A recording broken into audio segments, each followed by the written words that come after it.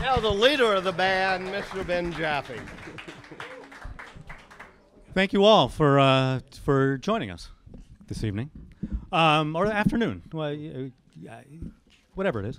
Uh, my name is Dean Budnick, and I am the editor of Relix, and we are hosting this event, and we want to thank the museum for allowing us to, to, to be here and to do this, and we're going to have a wonderful panel with, with these two distinguished uh, individuals, and at the end we'll uh, we'll take some questions. We'll have them exchange some thoughts. I know that all of you here know who they are, but just for fun, I will I will introduce the two of them. I mean, for people who are unaware, both Walter Isaacson and Ben Jaffe are New Orleans residents, and in fact, graduates, yeah.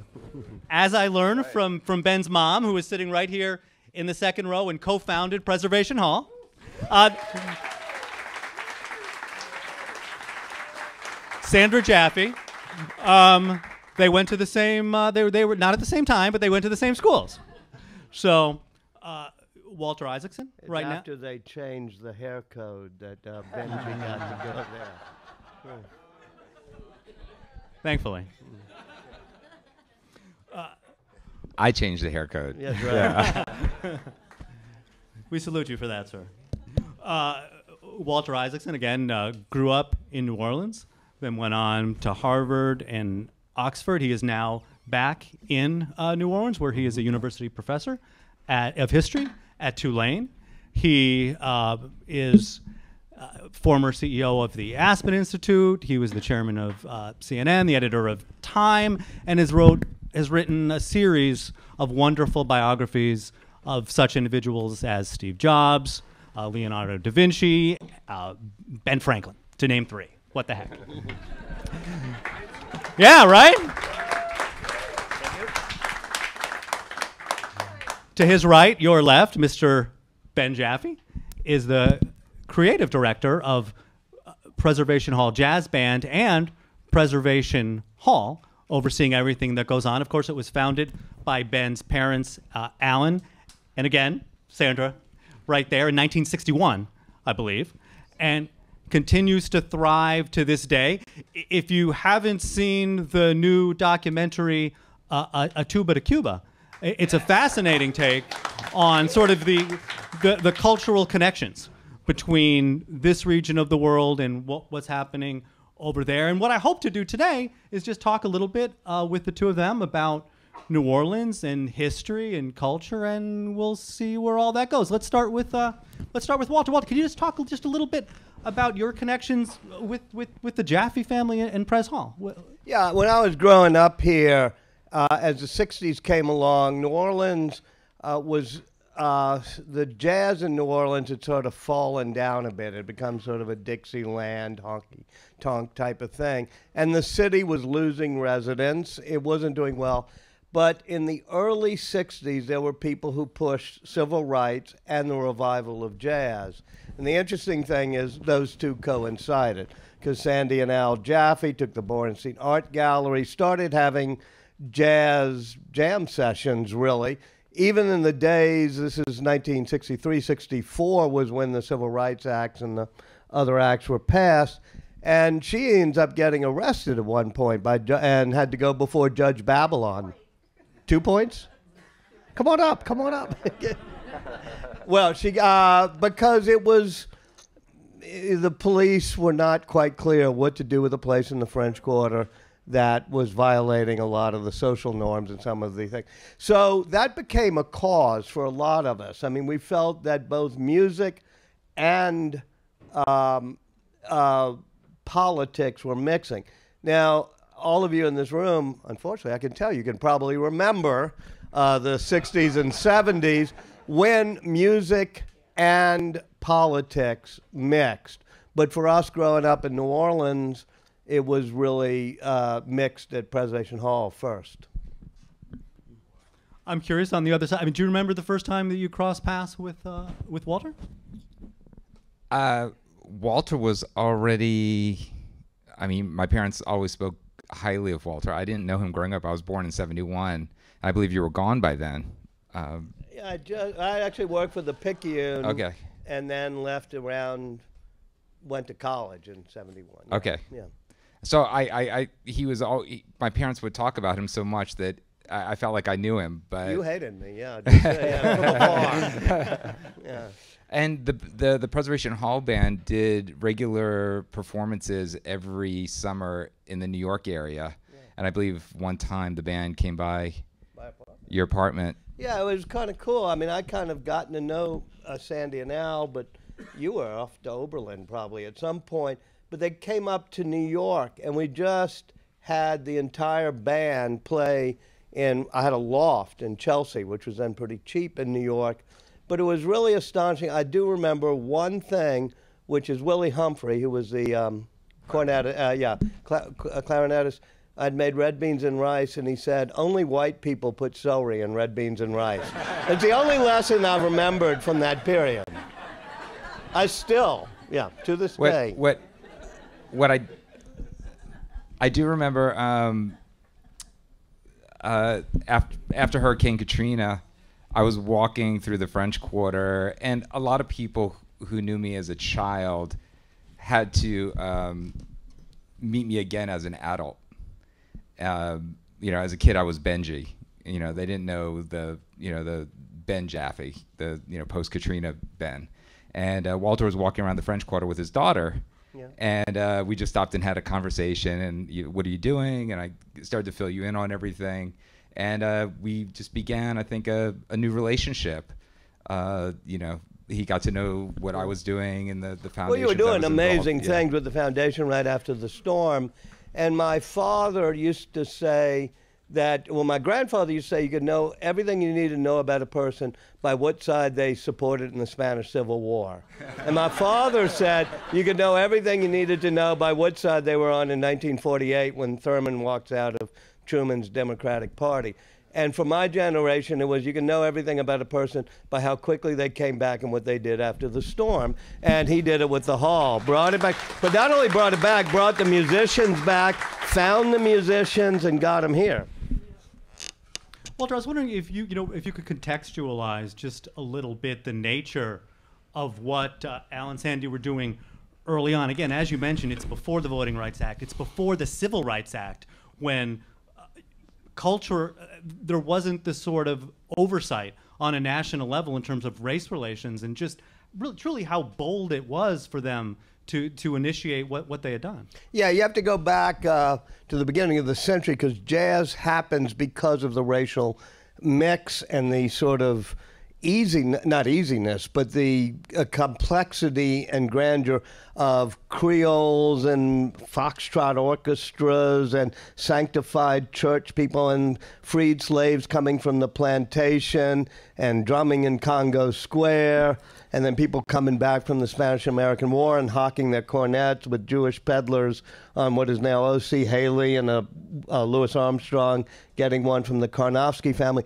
So racial and ethnic mix in this area from where Louis Armstrong was, which is Perdido Street, to um, what is now Congo Square.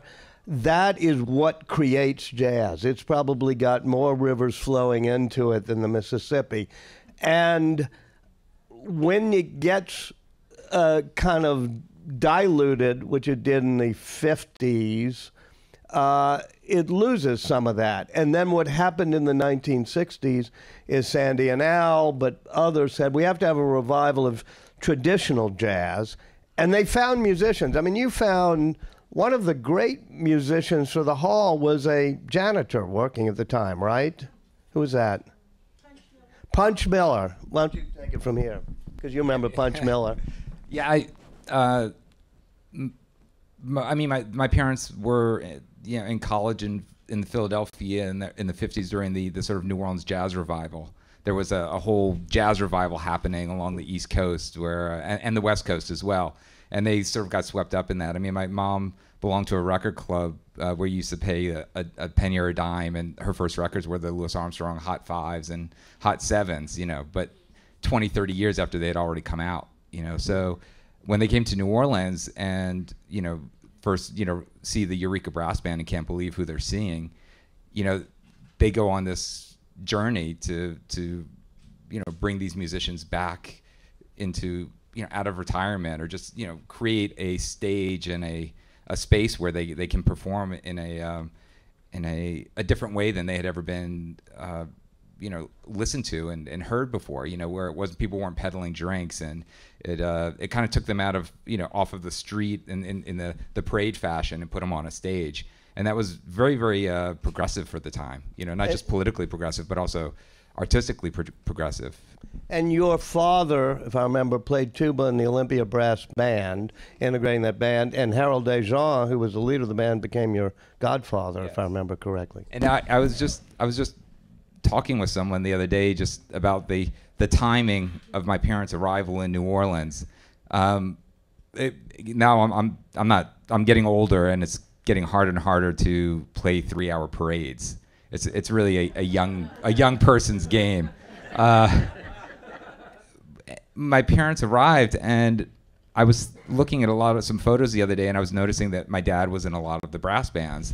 And he the timing of when they came was right at this moment where uh, the older tuba African American tuba players in town had were, weren't making the parades and there was a need for a tuba player. And my dad's just kind of fit like arrived right at this moment and uh, you know he was playing with the Eureka Brass Band, the Tuxedo, the Olympia Brass Band, and he sort of became a go-to tuba player um, for those first years until um, Tuba Fats came along and became a, you know, um, kind of came up underneath my dad, and then there was another wave of African American tuba players. But for, a for there was a little window there where where it was my dad, you know, was holding down the fort. Yeah. Can, can you talk about the physical rigors, by the way, of lugging the, the tuba for three hours? What's what's that? What's that like? It's um, yeah, it's exhausting. It's it's a, it's it's it's it's it weighs about forty pounds. Um, it's uh you, you train for it. You don't you know. Are, are there tricks of the trade to uh, help you? Uh, they're not any tricks of the trade. Um, I mean, uh, there's no way to train for it really either. There's no manual to, to get ready for this. Do You you, know, in um, life. It's better than string bass, which you also play. Yeah, It's hard to I picked the two biggest instruments. Yeah. but tell the story of your uh, tuba getting stolen. Yeah, so I, I, I guess about uh, a year and a half ago, maybe two years ago, my after a show, uh, we were loading up our van after a show in a, another part of town. Um, we were playing at a wonderful place called uh, the Music Box. If you haven't been there, it's a wonderful, wonderful um, performance space. And uh, it's it's pretty dark back there. It was late at night, and nobody really noticed. Uh, you know, was paying close attention. And the next day, you know, the equipment got put away. And by Monday, we came back, and uh, I showed up at the hall and was assuming that our tour manager had brought my tuba, and it wasn't there. I said, oh, "That's interesting." Okay, I went back and looked back at storage. It wasn't there. And then I had this sinking feeling immediately that it, that it had disappeared. And uh, sure enough, uh, you know, we all. Do you have it? No, I don't have it. I don't have. How, how do you lose a tuba? Um, so uh, we, you know, we started putting out an APB for it very quietly, and uh, sure enough, within a, you know, within a couple days, it was making headline news. It ended up in like the Wall Street Journal and the New York Times on NPR. We were, I was getting calls from musicians all over the world. You know, we'll help you get a new one. Da da da. And then we got a we got a message from somebody who actually was related to a trumpet player that played at Preservation Hall, who knew somebody who knew somebody who was a security guard at a um, a like a metal yard over on the West Bank, and uh, and uh, no, they had brought it in. Someone had brought it in, and and uh, and he said, no, we can't. You know, we can't take it. And uh, you know, we didn't ask too many questions. We just said, well, we just want it back. You know, and uh, we got it back, and it was you know, amazingly. I mean, and what did you do with the money that people had sent from all over the world? Yeah, I mean.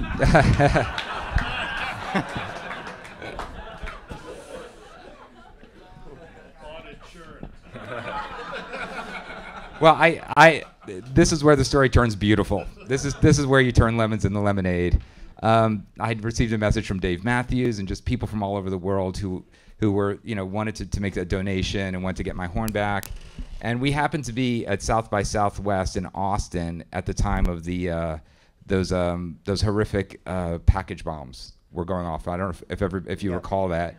And we were actually there at the moment that a young African American tuba player, bass player, um, died as a result of one of these bombs, and I came to find out that he had just been accepted at Oberlin through my bass teacher, and uh, immediately it clicked in my mind. I said, "Oh my gosh, this outpouring of of love from from this music community." We, we, we created a Sousa Fund at that moment, and uh, this past year we gave away three tubas to young African American musicians here in New Orleans, and one string bass, and we're gonna keep doing that every year.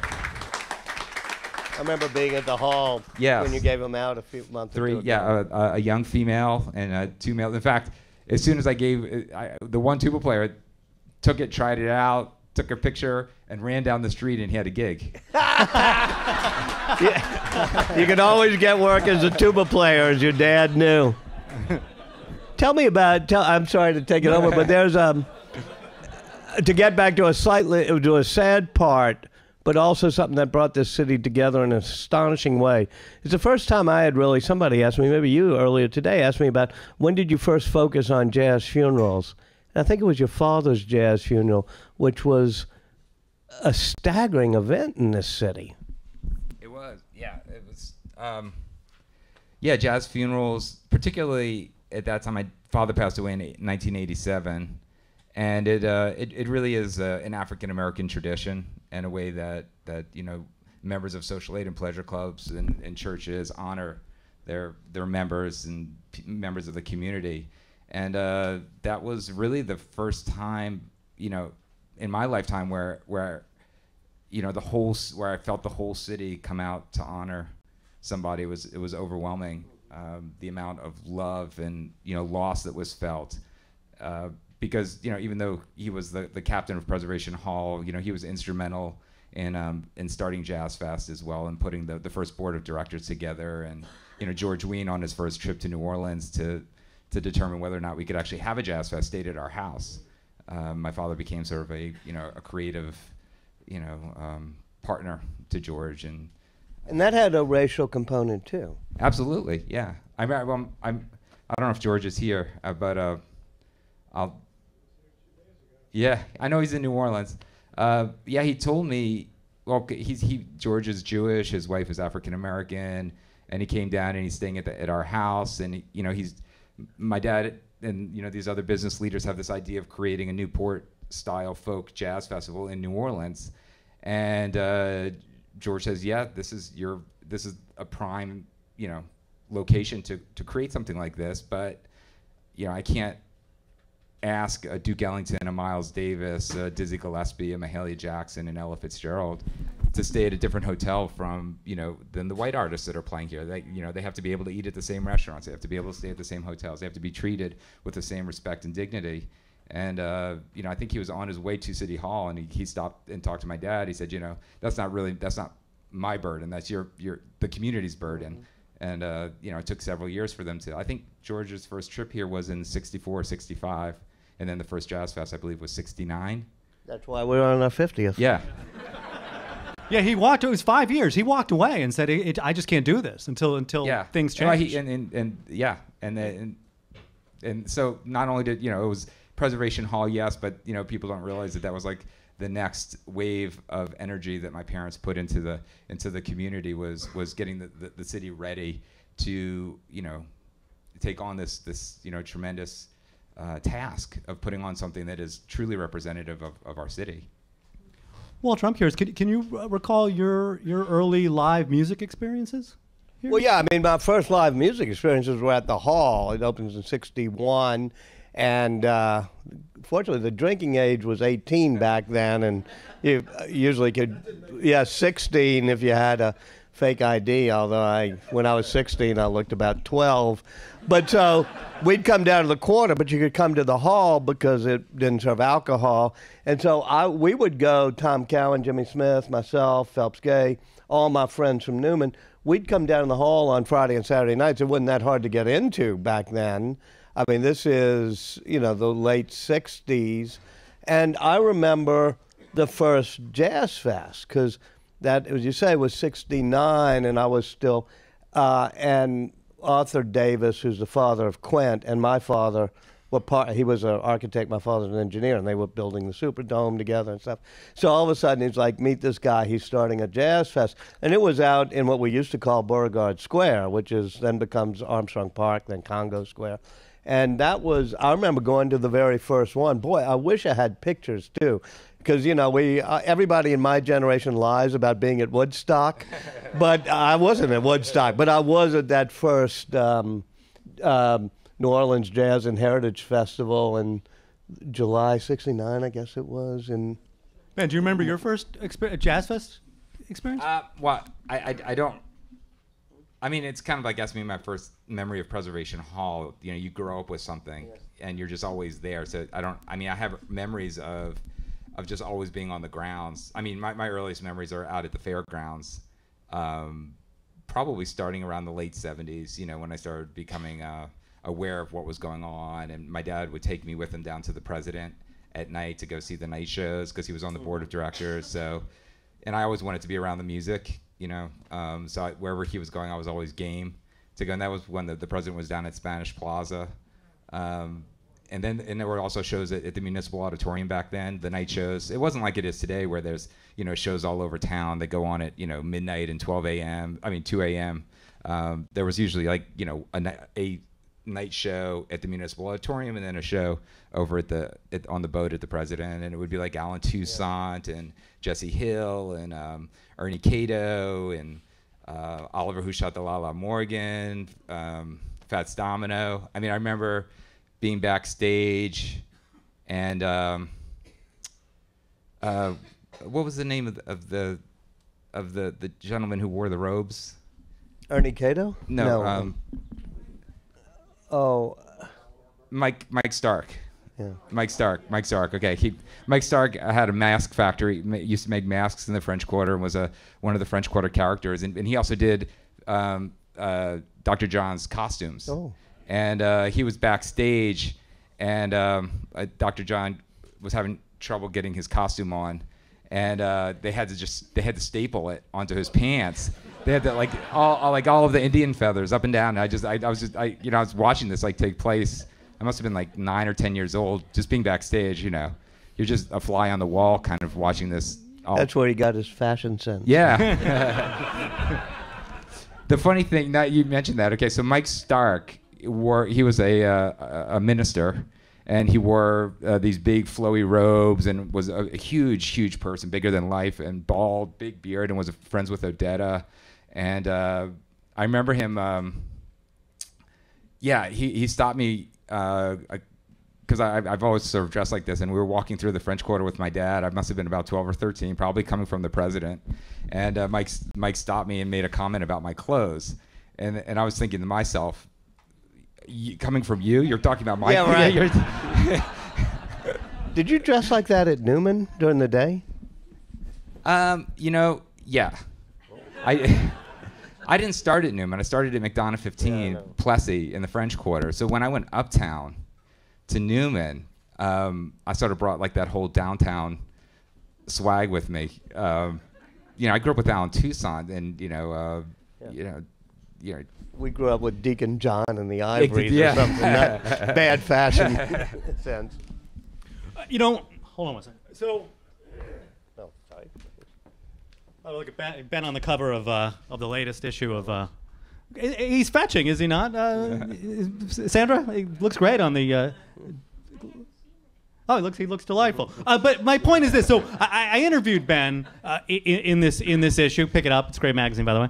Uh, and uh, and you know, Mr. Magazine himself, he's already he, you know Walter took a look and he's, he gave us the thumbs up, so we're we're happy. It's with it. actually an incredibly well designed magazine. Congratulations. Thank you. And Thank you. I assume well written, but I've only seen it for the past 20 minutes. So, right, aside from all that great opportunity to pat myself uh, on the back or vis-a-vis uh, uh, Walter, my, during the course of my interview with Ben, I asked him about representations of jazz funerals. I grew up in New England in the 1970s. And growing up, I told him uh, there was there was a film, and that was the first time I had ever seen a jazz funeral. And he stopped me, and he said, "Wait, wait, wait! It was one of two movies. I know for a fact. Do you want to share?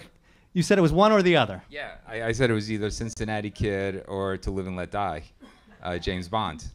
And Yeah. it it was To Live and Let Die, right? It was on probably ABC in 1970, whatever, right after uh, Roger Moore took over the gig. And can you talk about you know talk about that scene and who who's in that scene for people who Uh, aren't aware? Well, I mean, the movie opens um, on on Chartres, right, a block uh, before you get to Jackson Square, and it's the it's the Olympia Brass Band marching down the street, and it's a it's a, a jazz funeral's taking place, and uh, a gentleman walks up to Alvin Alcorn, the trumpet player, on the street, and he says he says uh, what's going on? He said oh it's a he said oh it's a funeral. He said whose funeral?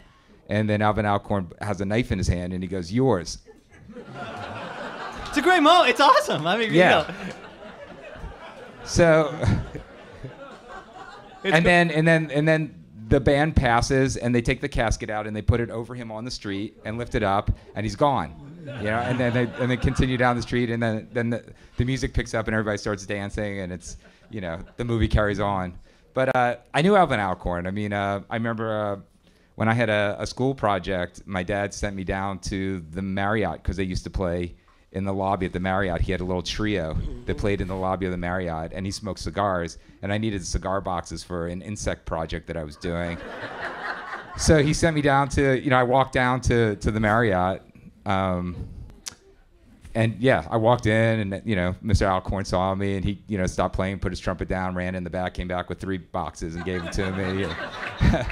so the- these are all people I knew, and my dad just, my dad just, lo- I mean, it was, it was just one of the greatest uh, things. Like my dad would always get so excited recounting that scene. You know, he loved that. He says, "Yours." Ah. It was striking growing up. I'm like, oh, that's cool. Yeah, I was like eight years old, I think, maybe when I saw that. I, Walter, can you just talk about representations of New Orleans in popular culture and how you viewed them uh, as you were growing up, and then you know left here and went out in the world? If there anything that were particularly striking to you, or offended you, or you know you were enamored No, with? I actually uh, first got interested in the representation of culture in books and literature. I remember I had somebody we called an uncle, meaning he had married in the family, Walker Percy, and we couldn't figure out what Walker Percy did because you know, saying to Anne, his daughter, man, your dad's always sitting at home all day, you know, drinking bourbon and eating Hogshead cheese. She said, well, he's a writer. And I go, you know, and I knew you could be a fisherman. I knew you could be an engineer. I knew you could be a doctor. I didn't know you could be a tuba player or a writer. So, and then the moviegoer comes out, and um, I, you know, most of you wouldn't have heard. I mean, it's, it did win the National Book Award. It is the greatest novel. I still reread it every couple of years, and it was astonishing to me, the moviegoer, because it's about Gentilly and the Elysian Fields bus and then walking through the quarter. And to me, that's the best representation in literature. I mean, obviously, I have Streetcar Named Desire and many other such things. But to me, that gave me a sense of, oh, I get it. I'm growing up in a town that's actually a little bit weird and a little bit odd. And this guy who lives in the suburbs comes on in and sees it. And so I became very interested in how New Orleans is portrayed in literature, starting way back with uh, George Washington Cable, Lafcadio O'Hearn, which is, by the way, all about race, just like jazz was. It was about, uh, I mean, one of the Grandissimes, for example, a George Washington Cable book, I think somebody will correct me, in the 1890s or something. But it's about two brothers, one uh, full brothers actually, but one passing as white and one passing, not passing, but one who was living as a Creole of color, because that's around the time they draw the color line again when Plessy v. Ferguson comes along. So watching the evolution of New Orleans and how it dealt with race over the decades has been my interest. In terms of movies, I'll let you take it over because I love Easy Rider and a few others, but I'm not. A, you, you're probably more familiar with the movie genre. No, yeah. I mean, Easy Rider is definitely, I mean, definitive. Um, Cincinnati Kid is a great one as well. Lesser known, uh, one of my favorites, Down by Law with uh, Tom Waits, is a.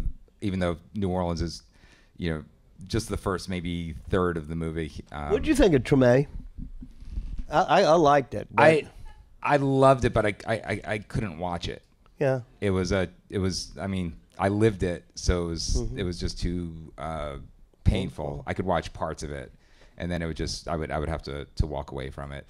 Yeah, But yeah. People always ask, was that authentic? You would know better than I. It was, it but was painfully authentic. yeah, I was about to say, uh, yeah. It's Yeah. like so authentic that I remember Wendell Pierce. Do you even know who he is? He was, I think, plays trombone Yeah. in that, right? Not quite trombone shorty, but plays. And um,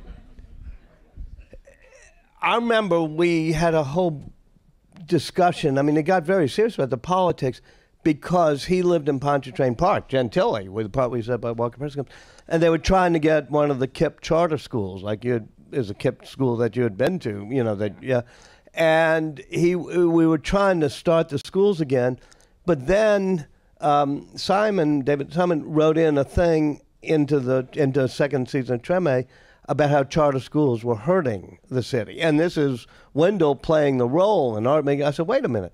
You're trying to get, you know, trying to have your own charter in Pontchartrain Park so you can run your own school, but you're saying this. And then we talked about it and the plot line changed. So I was, I mean, because Wendell talked to him about it. I was just surprised at how authentic every even minor argument, including the chefs, including, you know, uh, uh, patois is in there, I think. Yeah.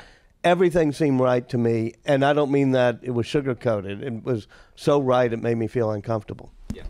It, uh, in fact, uh, last night, uh, Steve Earle uh, played with us at Preservation Hall, and uh, yeah, he uh, he's a character in the movie. He's a, a busker and uh, who's you know uh, ends up being being murdered in sort of a senseless robbery, uh, but you know Steve only gets involved in projects that he believes in, and that was something that he believed in, and and it's a, it's a. I, I think someday I will go back and watch it, and I, I believe that you know when someone wants to understand the storm, the aftermath of the storm, I send them to, to that to Treme. It's it's. I mean, how do you explain New Orleans? You can't. It's uh in in in. You know, it's it's it's almost impossible, and I believe that you know Treme has did the best job of any any you know any attempt that's ever been made to you know peel away all of these these complicated layers So I'm curious, without talking about Cajun food, which I know is a sore spot for some people, uh, Walter in particular. Well, no, not not, not the food itself, but the uh, I, I guess that uh, you, you know Cajun food is not was not born in New Orleans, and right. You were saying that on the road, everyone uh, Ben, everyone wants to take you out to a Cajun restaurant, and you have to explain. Well, that's not precisely how I grew up. Is that?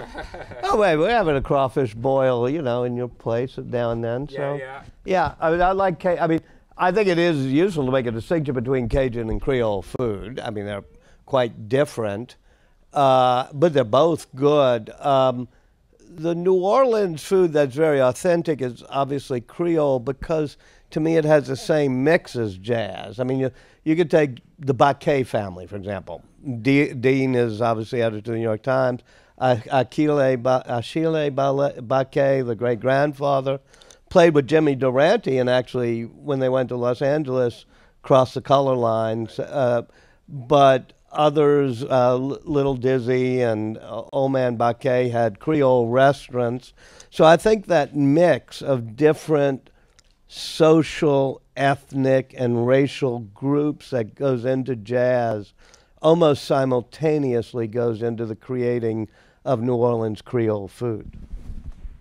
Yeah I- you know the, actually speaking of movies it was the big easy Right, right, right. That's what I was thinking of when you were walking through films. yeah when i was walking and as you said it and angel heart's another great new orleans movie too if anybody hasn't seen angel heart that's another great new orleans movie um, The Big Easy has a good soundtrack. The Big it? Easy's got a great soundtrack, but it, it you know from that moment forward, everybody assumed that that's how we talked, and, and New Orleans just became you know blackened this and blackened that, you know, and of course like you know everybody loves K-Paul's, you know, but it is Cajun, um, and uh, and we don't you know we don't all say share, and you know we talk like we're from Lafayette. I mean, um, and it, it, it's just it, it's it's it's funny. It's like you know i- you know, in New Orleans, people, you know, say, well, I'm not, you know, I'm from uptown, I'm from downtown, and you know, but we'll all agree that there's, you know, that, you know, there's a, a distinction between our French culture in New Orleans and the French culture, the Cajun French culture of, of Yeah. you know, Southwest Louisiana. More Yeah. people in New Orleans talk like um,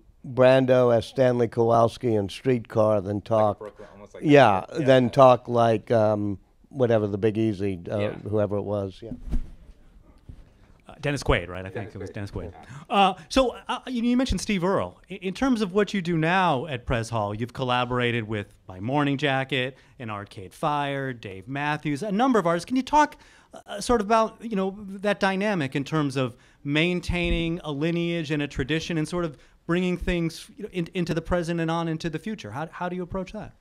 Um, what a lot of that started uh, immediately after Hurricane Katrina, and I made my way. I I was here for the hurricane, and eventually got out of the city, and then um, made my way actually to Lafayette, and then in, once in Lafayette, I drove to New York. Uh, and then reconvene my band after I could lo- after I located everybody back into to New York where we could get housing, and um, there was immediate there was this immediate outpouring of love uh, from the music community, and there was uh, one concert specifically, the Big Apple to the Big Easy, uh, that took place at Madison Square Gardens and at Radio City Music Hall on the same night. Uh, the Madison Square Gardens show, I think, was like you know Elton John and Paul McCartney, and then the Radio City Music Hall show was like Phish and Ivan Neville and Galactic, and um, at that time they didn't know what to do with Preservation Hall, so they were like, "Can you guys play in the lobby when as people are walking in?"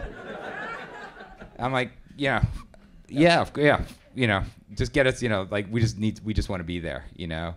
Um, and actually, that was the night. Uh, so Radio City Music Hall donates all of their, their services and all of the, the, the union donates all of their time. So it's a, it's a bare bones staff working the event. So there's no security. It's very, very bare bones. And we're everybody's sound checking and rehearsing the day before. And, uh, you know, being this, the son of Sandra Jaffe, um, I, I know how to get backstage pretty easily. And, you know, I, you know, I know, I know my way around. Um, and I met this photographer that night, Danny Clinch, uh, that night. And Danny just came up and introduced himself to me. And then that afternoon, I was standing there and I saw, um, uh, like, who, gosh, who did I see come through the door? I saw um, Elvis Costello show up. And then I saw, uh, you know, he was holding the door open for Tom Waits. And, you know, I'm, I'm just kind of speechless at that. And, you know, Dave Matthews shows up. And then, you know, the, the guys from Phish show up, and you know, I'm, I'm, and they're just they're hugging me and thanking me, and you know, they can't do enough, and and I, I never really felt that outpouring of love from the greater music community. You know, all these people had this this uh, deep deep appreciation and understanding of how important New Orleans is. And that was a pivotal moment that night. You know, um, all those musicians on that stage that night became supporters of ours and, and, and friends and collaborators um, you know, since since that moment. Um, so uh, the idea of collaboration really almost happened that night. It it it, it wasn't about necessarily, you know, having all these bands play New Orleans music. They already loved New Orleans music. Uh, it was it was just about finding where we all intersected. Like where was that where was that that that that point of intersect musical intersection? And when you work with a great collaborator, you're learning as much as you're giving. So you're learning from them as they're learning from you. And you know, that's the most beautiful moments. Um, You know, though, when New Orleans music, as I said, has so many rivers flowing into it, and what's happened at the hall under your leadership is you've added more strands to it, starting with the Haitians and Arcade Fire, and it inflected your music. I think you have a whole album out that's you know Haitians, and then you did the trip to Cuba, which did it, and that's important because Haitians and Cubans are two of the most important ethnic groups in the 200. I mean. New Orleans is 300 years, but for the past 250 years, they've been two of the most important. And putting that into the press hall music has been nice too. Yeah, it's it's it's, it's it, I mean, thank you. Um, it's been a a beautiful artistic journey. You know, I, one of the things that that I believe is that you know, as as a, an artist, you're constant you you're on your own journey. You're on your own musical journey and evolution throughout life, and you have to you know. Um, go on your own exploration, and part of that for us has been going to Cuba, has been going to Haiti, has been sort of discovering our roots you know, um, the roots of New Orleans music. And uh, when you think about it, I mean, New Orleans jazz really was, I mean, one of the first, like, you know, what I would call like world musics. You know, if you think about it, I mean, yes, it's distinctively New Orleans, but it's you know, it's it's it's African. You know, it's it's Spanish, it's French, it's uh, you know has uh, all of those things. Caribbean. Caribbean, yes. I mean, it, all of those things are, are present in the music, and you know, if that happened today, we would call it world music. Um, Another thing you did that I thought that was real interesting is in terms of indigenous American music, is you did you did uh, you recorded and toured with uh, Del McCoury. So you're bringing together sort of jazz and bluegrass. Can you just talk a little bit about how that came about and, and to the extent to which you know those two uh, modes of music meld?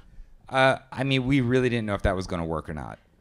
You know, we really didn't know if uh, we were gonna like if there was any like common ground where bluegrass and, and, and jazz like overlapped. And I was I was I'm willing to give it a shot. You know, like let, let's see if this happens. You know, let, let's get together and meet in a room, play music, get to know each other, have some crawfish, have a beer, you know, hang out for a little while and see if see if, if there's something there. Don't don't force it to happen. Just allow it to happen. You know, um, and the first thing that I noticed that just from talking with them is Del McCoury's uncle played with Bill Monroe and then got Del mm. McCoury the job and then Del McCoury got his son the job and then his son and his brother and their children. I'm like, oh wow, there's like four or five generations. Oh, this is like New Orleans. Okay, where this isn't happening anywhere else. I mean, it happens in gospel music, it happens in New Orleans in jazz, and it happens in bluegrass. Okay, so there's some common ground, and then we start playing. And I'm listening to the instruments, and the first thing Charlie recognizes is Charlie Gabriel, our clarinet player. He's going to be 87 this summer. He notices that the violin is the same register as the clarinet. And that's the first thing he notices. So him and the clarinet, him and the violin player go step over to the side, and they're just they're like trading solos together, and they're showing each other things. Okay, so that's happening in one side. That's happening over in that corner, right? Then I notice the banjo player is doing something on the banjo, and I'm like, "What's he doing?" And our drummer goes, "Oh, he's he's, he's playing this."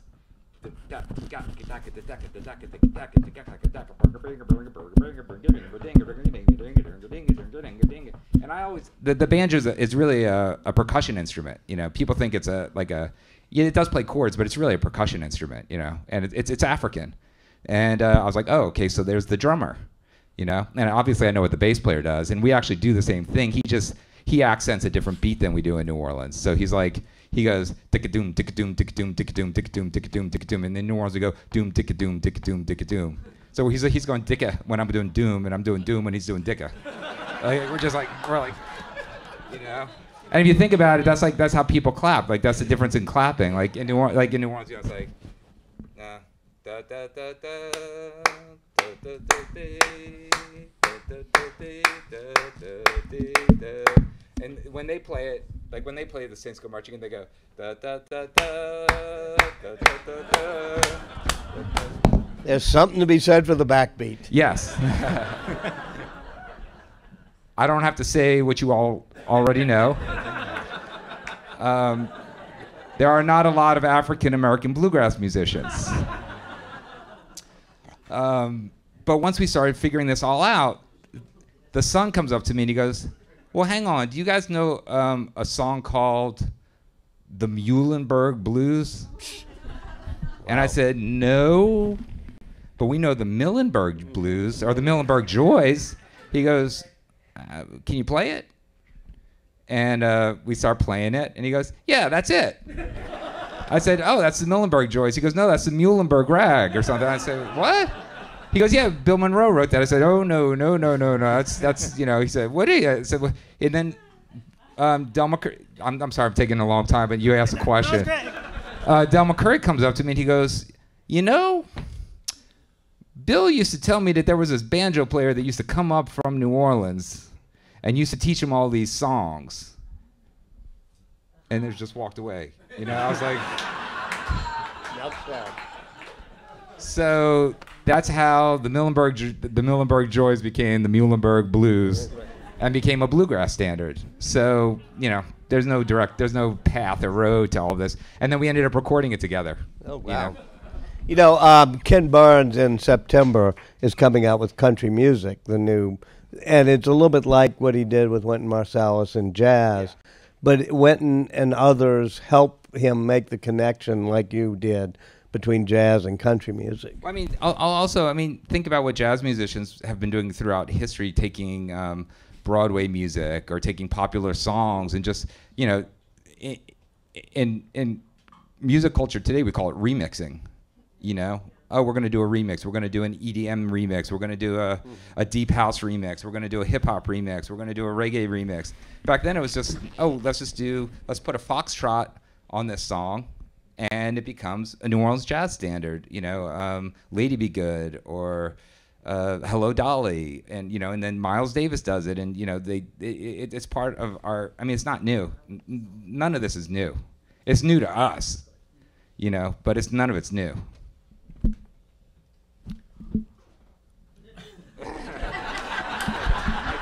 Drop the mic.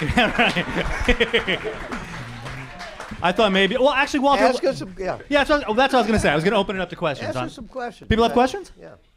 New Orleans, they got questions. Yes, I, I don't remember the year, sometime between 61 and 68, when I was preparing for law school, that I got involved with you guys on a, a lawsuit against you. An ordinance that was, they were trying to shut you down. Talk to her. Hey, Sandy, come here, Sandy. You mentioned it, Walter, at the beginning. Yeah, it was Judge Babylon. Uh, you drink it enough, you'll be okay. They just wanted to shut you down. Yeah, and so she gets in front of Judge Babylon. The Bobby family across the street. But I'm, oh, no, I'm sorry. Great, truly, Walter, I would love to speak and this, and answer anything, dear, but I can't. I'm having. Okay, I'll tell the story then. You just you tell me yes or no. Actually, we just we um the hall never had a music license. Right. It was it was a gallery. It was a, it was an artist collective, and uh, throughout the 1950s, if you went into what became Preservation Hall, there was uh, there were artists living upstairs. There was a photographer, Dan Lear, originally Pops Weitzel, had his photo studio in the back. Um, there was a framing shop. There was artists who would come in and paint, and the idea was that people would come in during the daytime, and you could actually experience an artist studio and watch artists at work and, and engage with artists and have them talk to you kind of like what goes out on jackson square but in a, a more of a gallery setting and uh, the idea was well if we have musicians come and sit for us then they're coming in as models you know so there's a little bit of you know a little hustle going on. You know what I'm saying? It's like a little a little New Orleans, so it's not really really clear what's going on here, you know. But it's okay because every everybody's it's all in you know good fun and nobody's you know until somebody you know calls about you know the noise coming from next door and uh, tries to shut it down. You know, so um, um, I don't specifically know about that moment, but uh, but by the time I mean, what happened was, what year was it, Mom, that that um that the Brinkley report came did the the the piece on the hall? Sixty two. So shortly after my parents officially opened what became Preservation Hall, uh, the Brinkley News Hour came down and did a piece on Preservation Hall, and that was, you know, prior to 60 Minutes, and this is when there was two or three channels, so every everybody was watching this one moment, and they did a special. So all of a sudden, Preservation Hall was on the national, you know, consciousness, and that immediately changed everything. It was almost as if they could do whatever they wanted at that point. Um, uh, you know, because you know who would dare, you know, do something to to you know take away something that you know everybody everybody's you know oh what an amazing thing. This is incredible, you know nobody wanted to be that fool, And you all charge no, no admission, no right? and uh, you serve no food, so you didn't come within that exception. And you had more than three musicians standing up, so that ca- caused the problem. It was uh, amazing that you all fought through that. To this day, Yeah, but Yep. So, um, it's it's really fascinating to see how history and music really come together. I would love to hear from you about that intersection. Like in your case, I love it that you literally have all this history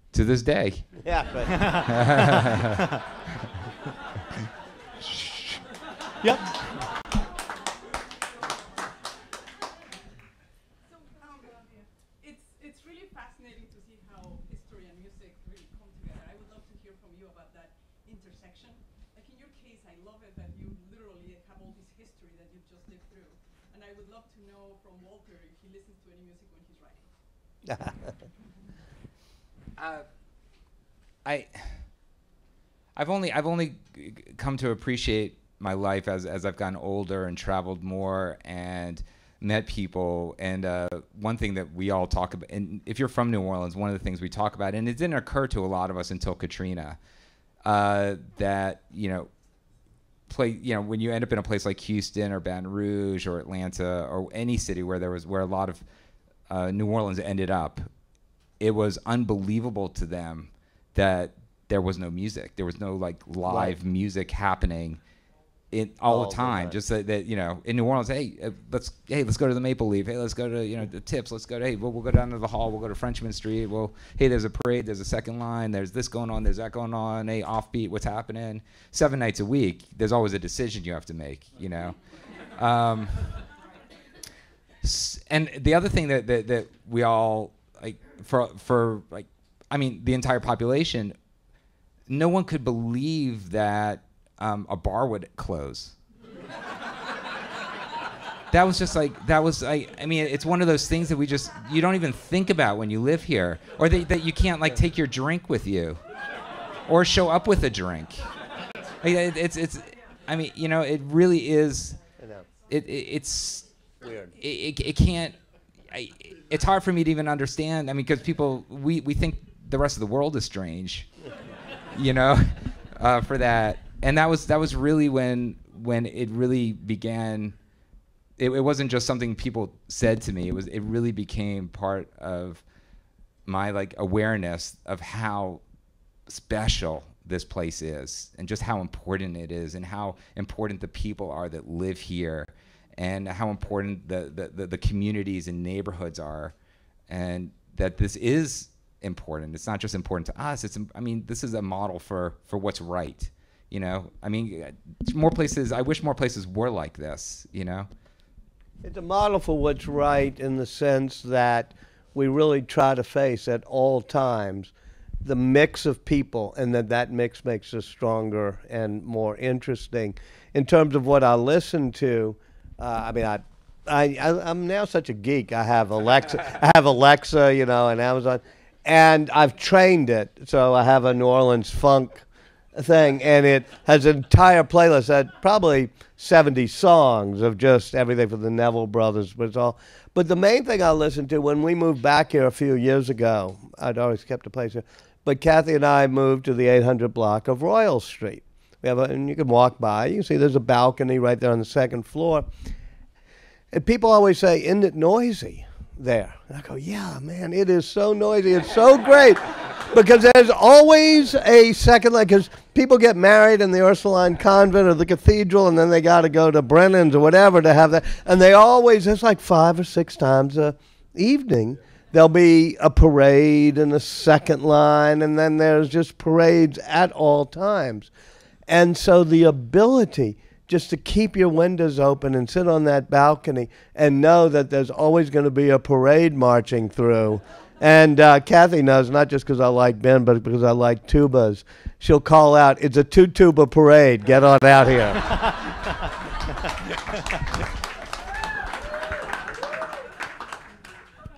Yep. I, I wanted to ask i- if the somewhat relentless crush of so many different people in here into New Orleans is what has relaxed and loosened the, the rules. Yeah, I'll start if you want. You know, you talk about Hall, Preservation Hall, and music and all helping push integration in the '60s. But a lot of things did that, including ought to give, we ought to give Moon Landrieu and some of the leaders at a certain point a shout out. But the New Orleans Saints did that as well. Meaning the NFL, when you decided you wanted the Saints and you wanted a Super Bowl. My grandfather, most of you are from here, used to take me to the NOAC, the New Orleans Athletic Club on Rampart, which I didn't quite notice, but was, you know, in the 60s, pretty much segregated. Now it's the greatest racial diversity. And I asked Bill, the guy who runs it, what happened. He says, when the Saints came, we realized that we had to have Saints players there and it integrated. So I'm always got my antenna up for things that help make us a city that sort of brings people together rather than do what the rest of the nation is doing, which is becoming more divisive and polarized. Um, a lot of people coming in help to do that as well. But to me, the more interesting people coming in are not, you know, the Carnival Cruise Line that just docked near my apartment and they're all coming in. but the different waves of people who come in, including after the storm. I know that this country is sort of some places having allergic reactions about, you know, Mexican invaders, as our president would say.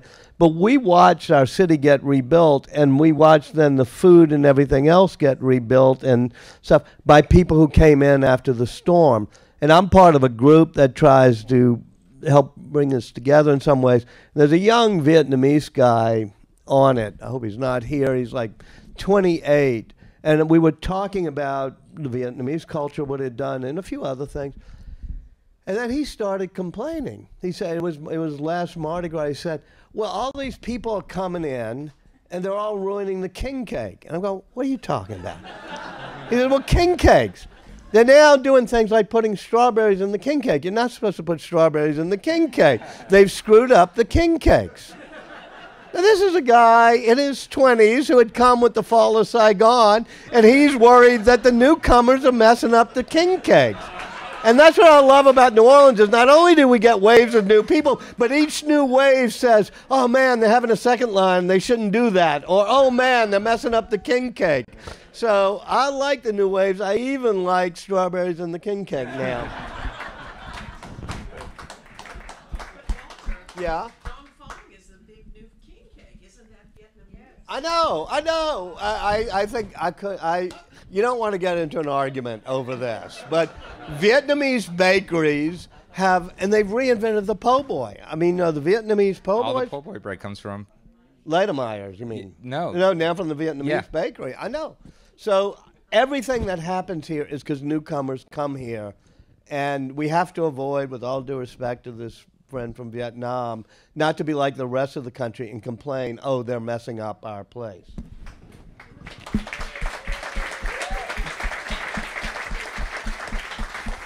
Yes. Question for Ben.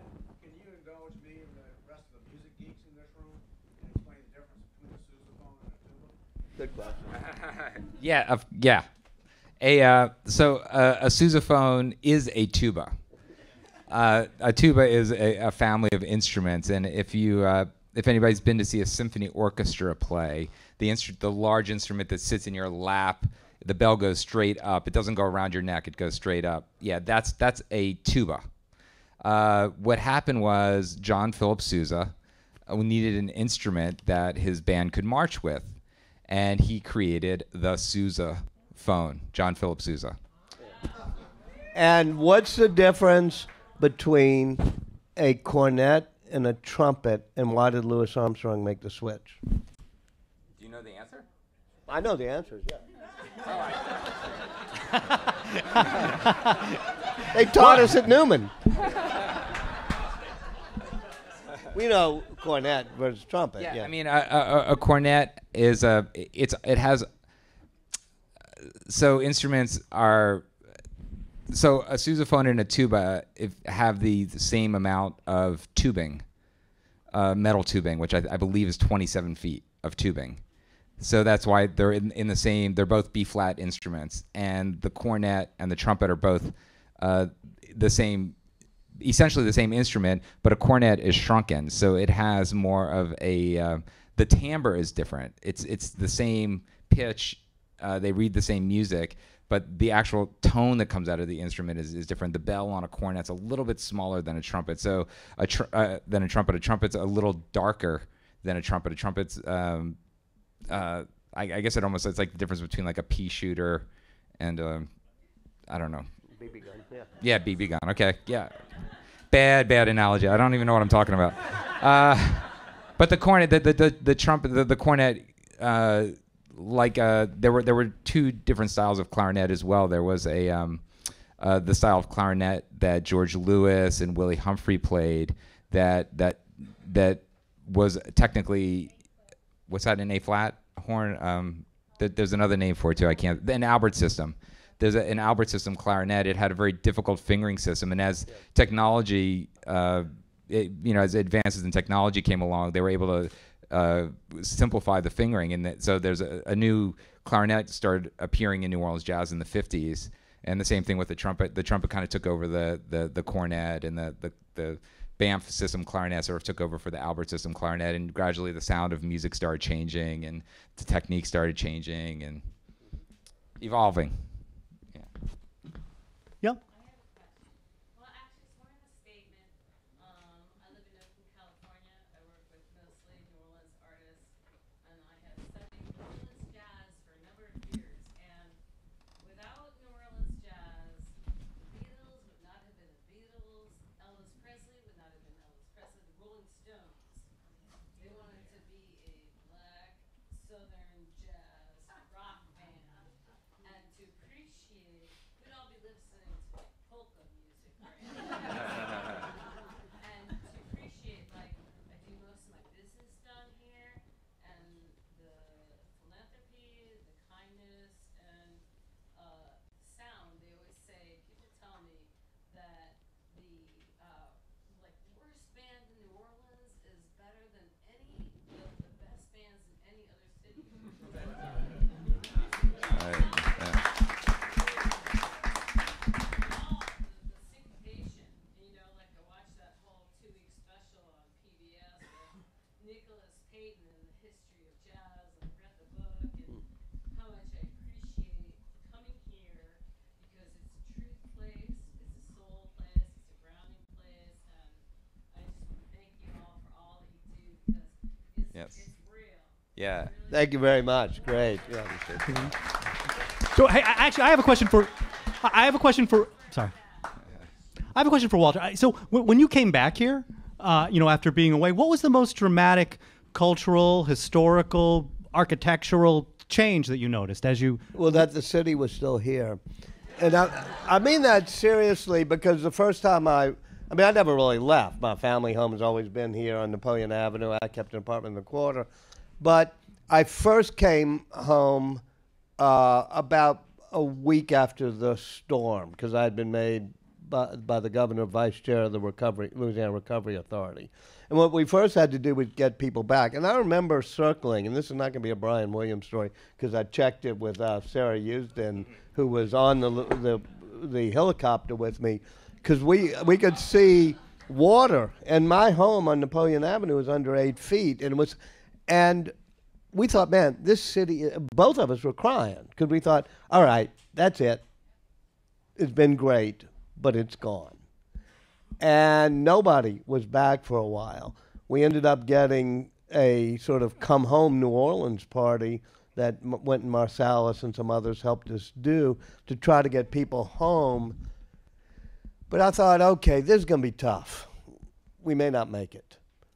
And then, over the course of four or five years, it, was partly the music. It was you all brought the hall back. Other people, we it took a while to get even the Nevilles back. Some of them but the restaurant owners were the first to come back.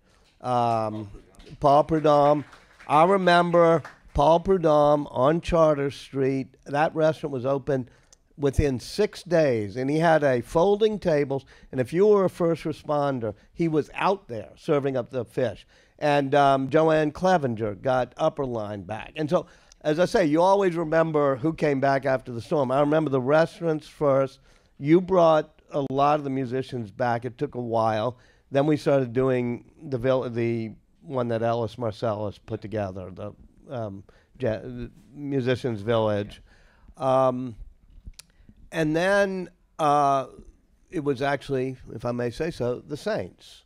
Because we all, five years after the storm, when the Saints were doing well, every single one of us, whatever our religion, made a deal with our Lord that if you let us win this Super Bowl, we'll never ask for anything again.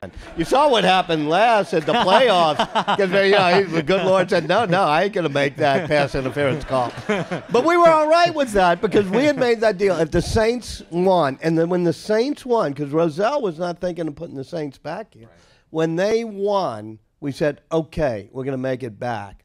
And I came back on. I mean, I'd always living back and forth here, but on the 10th anniversary of the storm, this will be a name dropping thing. I'm sorry to do it, but as vice chair of the Recovery Authority, I was flying down, you know, with President Obama because he made the visit for the 10th anniversary, and uh, they said, why don't you talk to the press and the Air Force One with him?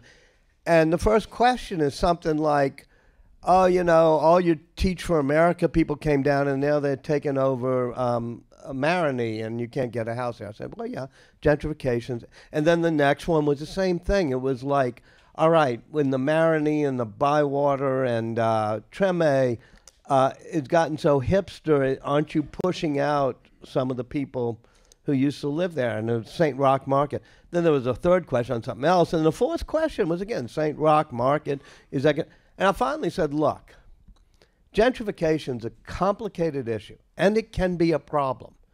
But if you told me that 10 years ago, the first three out of four questions we would get is about the gentrification of Bywater, the Marigny, Treme, and St. Roch, I'd say you're out of your mind. They're under eight feet of water. We'll never, we're not sure they'll ever come back. So that was the biggest surprise to me. I'm on the City Planning Commission here now. All we're hearing about is complaints on gentrification. And sometimes I raise my eyes to the good Lord and say, okay, you let us win the Saints game. This is a high class problem to have. And so that surprised me, the gentrification for good and for bad of the city. And, and I, I do want to say, uh, uh, Paul Prudhomme, was, uh, Kay and, and Paul were, were dear friends of my parents.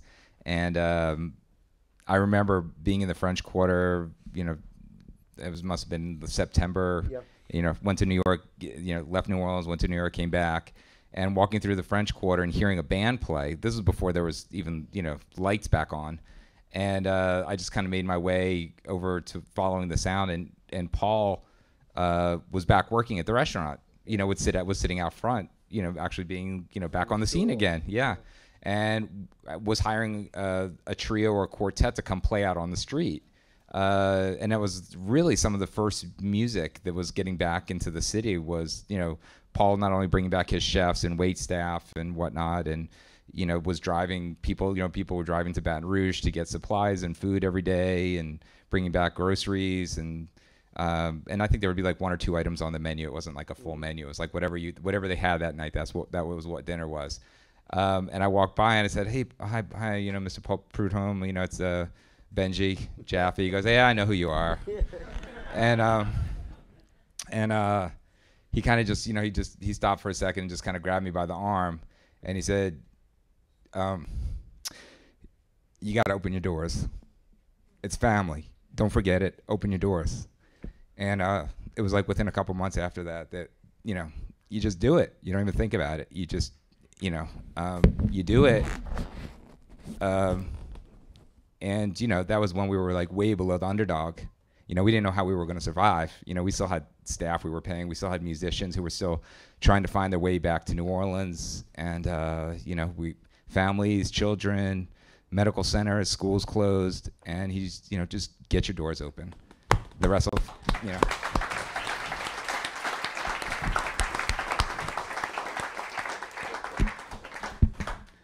One last one. Anyone- Everyone has a diaspora story. I call it the diaspora after Katrina. Because it was like a birthing story. Everyone's Katrina story is unique. And I've seen so much truth in music come through. I work with a lot of local artists here. I was at Jazz Festival today with my artists. And just to see the beauty and the truth come out of something very painful and difficult. It's a very unique city. I live in Oakland, California. People are a lot more shut off. But the city has this open heart and this open love. So, what was your diaspora stories? How did you bring people back? We well, right after the hurricane. I mean, actually, I, I can pinpoint the very first moment I ever received a text message because I was sitting on my stoop over on a Dauphine, and uh, we only got cell service. It was like you know after you know the sun went down, we could kind of get like you know a little bit of cell service, and it was that that uh, Tuesday, Monday or Tuesday, like you know, we thought we skirted the storm on Sunday. Then the levees kind of broke. Levees broke on Monday, and then Monday, like late at night, I got my first text message from Lucien Barbarin, whose family was stranded in Shreveport, and none of their ATMs worked. They had no cash, and we're usually the first people that you know musicians reach out to if there's you know an emergency. and he said, "Hey, you know, banks aren't working, ATMs, we don't know our credit cards. Where are you?" And all of a sudden, I it just kind of snapped that this was, I I was gonna I had to get out of New Orleans to do what I needed to do, and that was to um, start raising awareness and and um, uh, creating a way to to you know just like we did with the sousaphone and you know turn that into to lemonade was direct people's attention to to the music community. Because I knew that if we could get the music community back to New Orleans that the music community would bring everybody else back. That it was that, that we, we, we, knew that there that we're the pillars of the community and not just the musicians but we also the foundation I, I, I founded then the New Orleans Musicians Hurricane Relief Fund.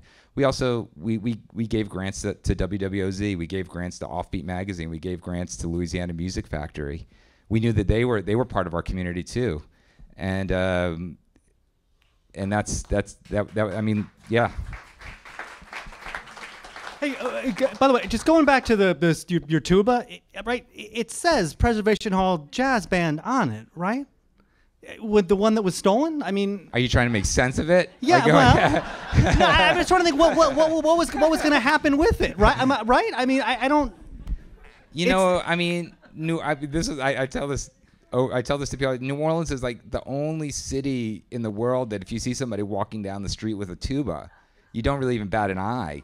You know, it's like really. I mean, you're just like, oh, they're on their way to a a gig. They're on their way to a parade. They're, you know, But but just to be clear, when I tell the story again later, right? It, it did say on the tuba Preservation Hall Band, right? Because that's what it says on your tuba. very right? clearly. Yes. Okay, I just- yes. I just, want, I, just want, I just wanted to know. Thank you. Yes.